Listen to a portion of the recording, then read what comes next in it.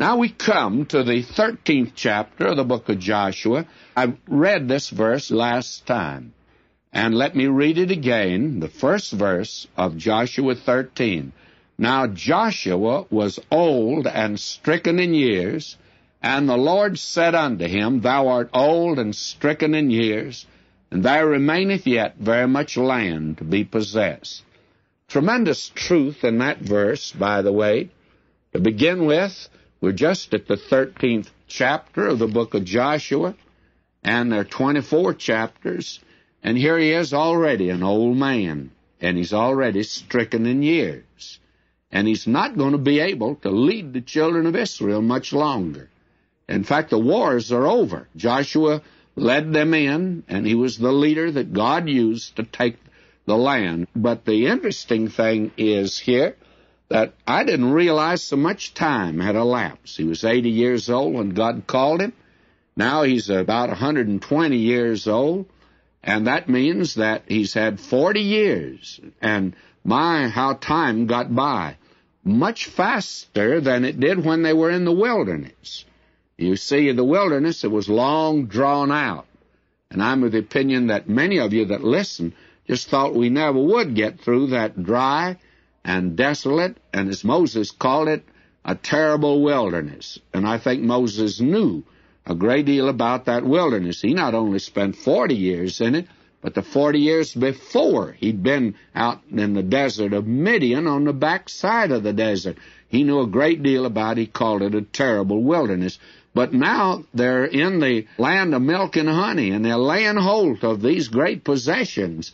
And uh, time really passes fast. And one of the things that causes time to hang heavy on the hands of so many folk is that if they just only be doing something for God, only be living a life for Him, my how time passes then. And then when you begin to get older, I've noticed how time passes. I recall my last pastorate. I was busy. I began as really a young man. And 21 years went by before I knew it. They just slipped by. And all of a sudden I discover I'm an old man and that I now am ready to retire myself. My, how time got by. They've been thrilling years, and very frankly, the most thrilling part of my ministry has taken place since I've retired in this ministry of radio and in having conferences. I've seen more results I've seen more of the hand of God. I'm more conscious of His leading than any time in my life. I think Joshua would have said that. Now Joshua was old and stricken in years. And the Lord said unto him, Thou art old and stricken in years. The Lord told him he was old. And there remaineth yet very much land to be possessed. Now this is the important part of it. I thought they were doing very well. They went into the land we saw drove a wedge right into the center of the land. Then they went to the south, conquered that area, moved to the north, they've conquered that area, and I thought, my, they've done a fine job. But you notice, there's very much land yet to be possessed. After doing a tremendous job, may I say, friends, that's going to be true of you and me. It's been true of every servant of God he never did all that he'd like to do. You remember what Paul said in Philippians?